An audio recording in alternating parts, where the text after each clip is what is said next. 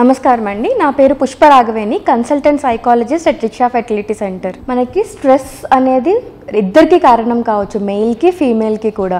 ఇప్పుడు వర్జినిస్మస్ అంటే ఫీమేల్కి యోని లోపలికి ఏదైనా లోపలికి వెళ్ళడానికి భయం అంట అనమాట అంటే వర్జినల్ స్కాన్ అంటే కానీ సెక్స్ సెక్స్లో ఇంటర్ కోర్స్ అంటే కానీ లోపలికి ఏమైనా టాంపాన్ లాంటివి ఇన్సర్ట్ చేయడం గురించి కానీ వాళ్ళకి విపరీతమైన భయం ఉండడం వల్ల పెళ్ళైనా కూడా సెక్షువల్గా కలవడానికి వాళ్ళకి భయం వేసి ఆ భయంతో తెలియకుండా వర్జినల్ మజిల్స్ని టైట్గా కంట్రాక్ట్ చేయడం వల్ల అది లోపలికి వెళ్ళడానికి ట్రై చేస్తున్నప్పుడు పెయిన్ అనేది జనరేట్ అవుతుంది.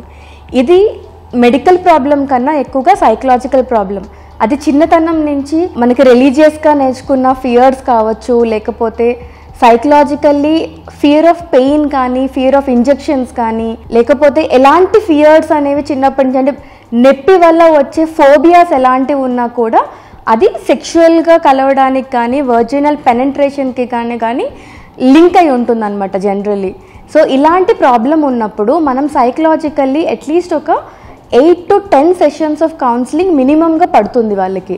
అప్పుడు మనం ఏం చేస్తామంటే ఆ కౌన్సిలింగ్లో సైకలాజికల్లీ ఉన్న ప్రతి ఆస్పెక్ట్ అంటే వాళ్ళ మైండ్లో ఉన్న ప్రతి స్ట్రెస్ రిలేటెడ్ ప్రాబ్లమ్ని మనం మాట్లాడి కూర్చుని వాళ్ళ మైండ్లో ఉన్న బ్లాకేజ్ని తీయడానికి ట్రై చేస్తాం. అప్పుడు మైండ్ని బాడీని కనెక్ట్ చేయడానికి బాడీకి కొన్ని ఎక్సర్సైజెస్ నేర్పిస్తాం.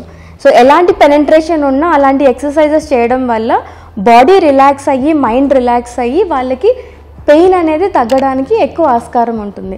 అదే మెయిల్లో చూస్తే మనం ప్రీమెచ్యూర్ ఎజాక్యులేషన్ అంటాం. అంటే సెక్షువల్గా వాళ్ళు పెనెంట్రేట్ చేయడానికి ముందే సీమన్ అనేది బయటికి లీక్ అయిపోవడం. అంటే అది ఇనఫ్ హార్డ్గా లేకుండా అది బయటికి వచ్చేయడానికి ఎక్కువ ఆస్కారం ఉంటుందన్నమాట.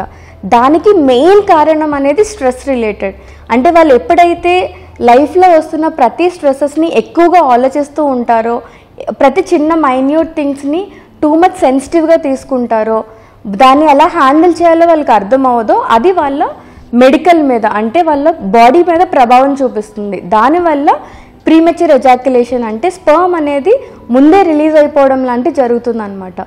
దీనికి మెడికల్గా కొన్నిసార్లు కండిషన్ అయితే చాలా వరకు కండిషన్ మనకి ఏమవుతుంది అంటే సైకలాజికల్ సో ఆ సైకలాజికల్ ఆస్పెక్ట్స్ని మనం మినిమం ఒక eight to twenty sessions of counselling చేయడం వల్ల వాళ్ళకి స్ట్రెస్ రిలేటెడ్ ఆస్పెక్ట్స్ని ఎలా హ్యాండిల్ చేయాలనేది వాటి నుంచి ఎలా కోప్ చేయాలనేది మనం సైంటిఫిక్గా సైకోథెరపీ అంటాం దాన్ని. సైకోథెరపీ చేయడం వల్ల ఆ ప్రాబ్లం అనేది సాల్వ్ అవుతుంది.